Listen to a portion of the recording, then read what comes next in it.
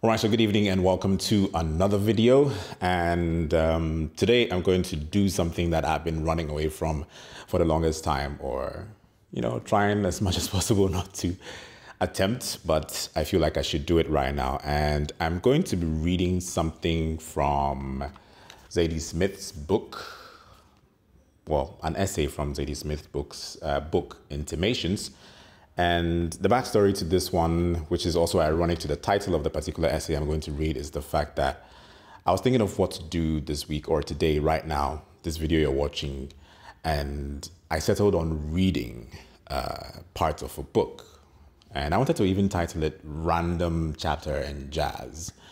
And so, am I looking for something to read? Um, Elaine suggested that I read something from this particular book, which the writer Zadie Smith wrote during the peak of the lockdown and dedicated or decided to give, yes, all to charity. So it's a good thing. And it's an essay about something to do and why we do the things we do, especially during that time and even now. It's just something we do or something we have to do. And so I'm going to read off this essay right about now and hopefully you do enjoy it as much as I would. And if you do, kindly give it a thumbs up, like this video. And the purpose of this particular reading is just to spend time with you this Saturday night. That's why I decided to um, have it released at this time. Just spend time listening to a readout and while away time while I keep you company with some soft music and something to do from Zadie Smith. So I'm going to start. Let's cue the music and get to it. If you make things, if you're an artist of whatever stripe, at some point you'll be asked, or may ask yourself, why you act, sculpt, paint, whatever. In the writing world, this question never seems to get old. In each generation, a few too many people will feel moved to pen an essay called, inevitably, Why I Write, or why Write?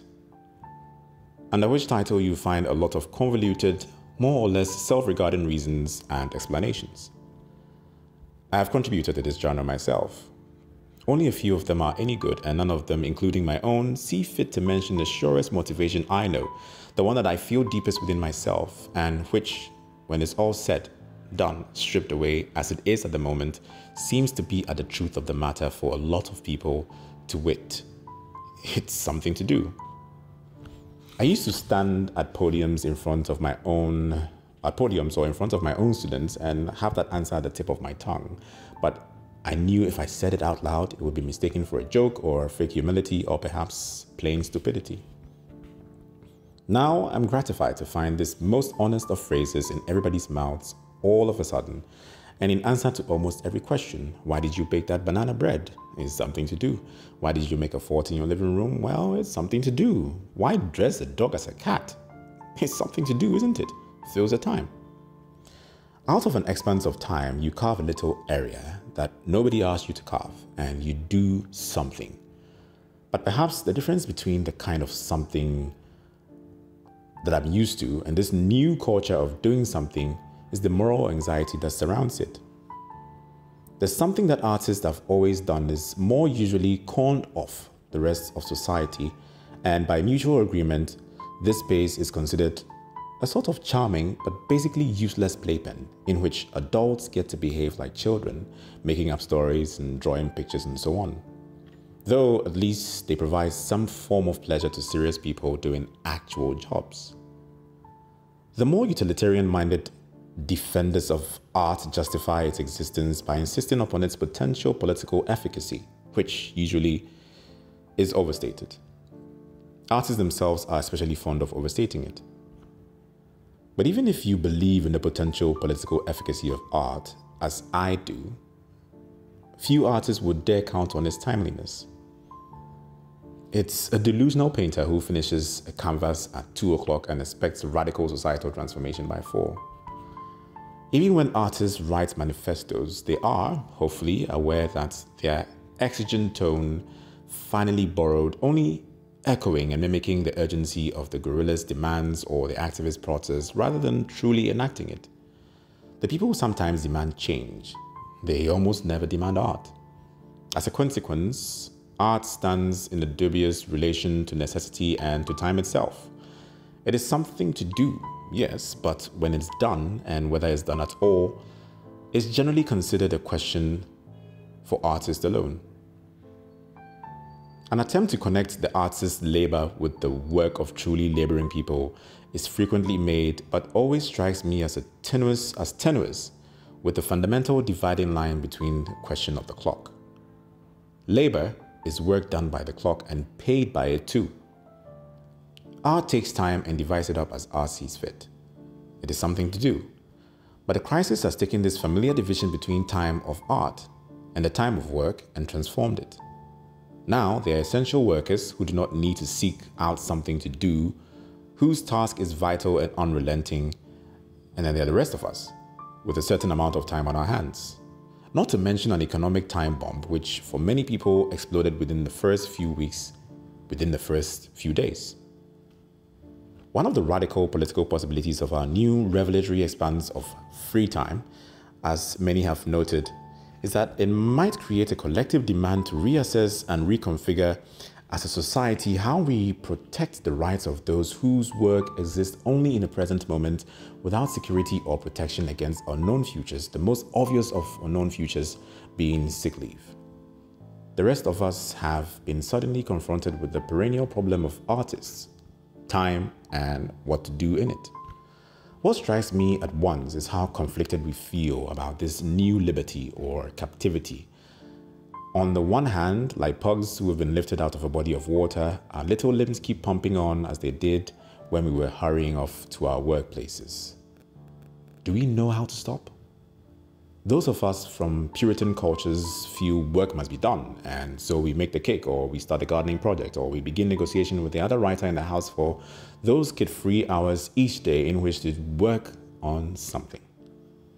We make banana bread, we sew dresses, we go for a run, we complete all the levels of Minecraft, we do something and then photograph that something and not infrequently put it online. Reactions are mixed, even in our own hearts. Even as we do something, we simultaneously accuse ourselves, use this extremity as only another occasion for self improvement, another pointless act of self realization. But isn't it the case that everybody finds their capabilities returning to them, even if it's only the capacity to mourn what we've lost? We had delegated so much. It seems it would follow that writers so familiar with empty time and with being alone should manage the situation better than most. Instead, in the first week, I found out how much of my old life was about hiding from life. Confronted with the problem of life, served neat without distractions or adornment or superstructure, I had almost no idea of what to do with it. Back in the playpen, I carved out meaning by creating artificial deprivations within time and the kind usually provided for people by real limitations of their jobs.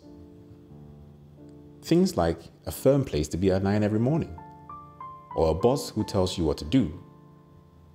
In the absence of these fixed elements, I'd make up things to do or things to abstain from, artificial limits, and so on. Running is what I know, writing is what I know, conceiving self implemented schedules, teaching day, reading day, writing day, repeat.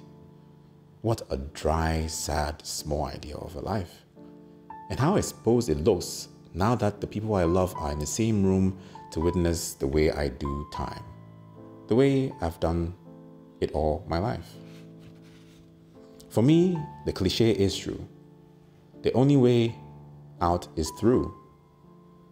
Trying to preserve some space for yourself in a crowded domestic sphere feels like obsessively cupping your hands around thin air. You carve it out the time you need after much anxiety and debate, and get into a separate space and look between your hands, and there it is nothing, an empty victory. At the end of April, in a powerful essay by another writer, Ottessa Moshfegh, I read this line about love. Without it, life is about doing time. I don't think she intended by this only romantic love or parental love or familial love or really any kind of love in particular. At least I read it in a Platonic sense. Love with a capital L, an ideal form of essential part of the universe, like beauty or the color red, from which all particular examples on earth take their nature. Without this element present in some form, somewhere in our lives, there's only time, and there'll always be too much of it. Busyness will not disguise its lack. Even if you're working from home, every moment God gives, even if you don't have a minute to spare, still all of that time without love will feel empty and endless. I write because, well, the best I can say for it is it's a psychological quirk of mine developed in response to whatever personal feelings I have. But it can't ever meaningfully fill the time. There's no great difference between novels and banana bread. They are both just something to do. They are no substitute for love. The difficulties and complications of love as they exist on the other side of this wall, away from my laptop, uh, is the task that is before me, although task is a poor word for it, for unlike writing, its terms can't be scheduled, pre-planned, or determined by me. Love is not something to do, but something to be experienced and something to go through. That must be why it frightens so many of us and why we so often approach it indirectly.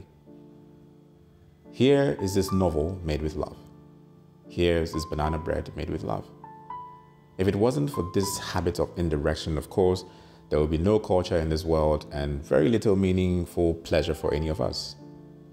Although the most powerful art, it sometimes seems to me, is an experience and a going through. It is love comprehended by, expressed and enacted through the artwork itself, and for this reason has perhaps been more frequently created by people who feel themselves to be completely alone in this world and therefore wholly focused on the task at hand than by those surrounded by loved ones. Such art is rare. We can't all sit cross legged like Buddhists day and night meditating on ultimate matters, or I can't. But I also don't want to do just do time anymore the way I used to. And yet, in my case, I can't let it go. Old habits die hard. I can't rid myself of the need to do something, to make something, to feel that this new expanse of time has been wasted. Still, it's nice to have company, watching this manic desire to make or grow or do something that now seems to be consuming everybody I do feel comforted to discover that I'm not the only person on this earth who has no idea what life is for, nor what is to be done with all the time, aside from filling it. So, yes, that's the end of this particular essay. I hope you enjoyed it, and hopefully, I can read more or a couple more essays or chapters like this in time but if you enjoyed this particular one, make sure you hit the like button and I wish you a lovely evening and I'll catch you in the next video.